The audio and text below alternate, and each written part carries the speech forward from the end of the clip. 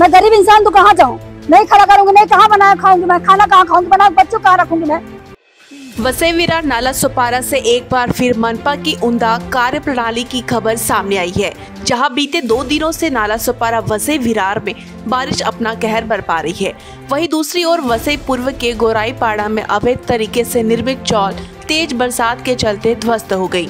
जिसके चलते दो मासूम बुरी तरह जख्मी हो गए। जानकारी के लिए आपको बता दें कि 8 जनवरी 2020 को हाई कोर्ट ने अवैध तरीके से निर्मित इस स्टॉल पर तोड़ा कार्रवाई करने के आदेश वसई विरार शहर महानगर पालिका को दिया था। सर्व अनधिकृत बांधकाम तोडून टाका असं सांगितलेलं आहे. पण त्यांना महानगरपालिका नोटिसा काम करतात, त्यांचं लक्ष, दुर्लक्ष करतात.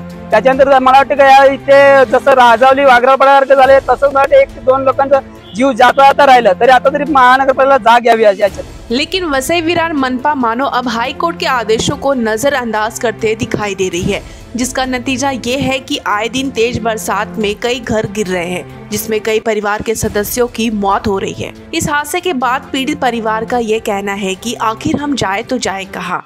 हमारी भी मजबूरी है। रहती थी बनाती खाती थी। अभी बारिश से अब अभी रात को गिरा मेरा कितना नुकसान मेरा पूरा सामान टूट गया है पूरा सामान आप देख ही रहे हैं। देख रहे बच्चों को चोट लगी। प्लस हम भी तो बताओ, मैं कहाँ जाऊँ? बारिश में रूम नहीं है मेरे लिए। और कोई रख नहीं रहा, मैं कहाँ जाऊँ? बताइए आप लोग। हैं, बच्चों सामान लेके पूरा मैं कहाँ जाऊँ?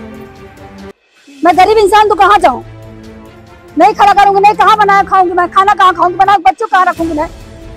अब लोग बताइए। मेरी भी मजबूरी है ना? अब सवाल ये उठता है कि इन वसई विरार महानगर पालिका द्वारा अवैध तरीके से घरों को बनाने वाले चौल माफियाओं पर कार्रवाई क्यों नहीं की जाती? क्यों हर बार इसका खामियाजा सिर्फ़ और सिर्फ़ गरीब बेसहारा जनता को ही उठाना पड़ता है, जो अपनी मेहनत की कमाई से पाई पाई जोड़कर अपने सपनों का घर बनाते हैं।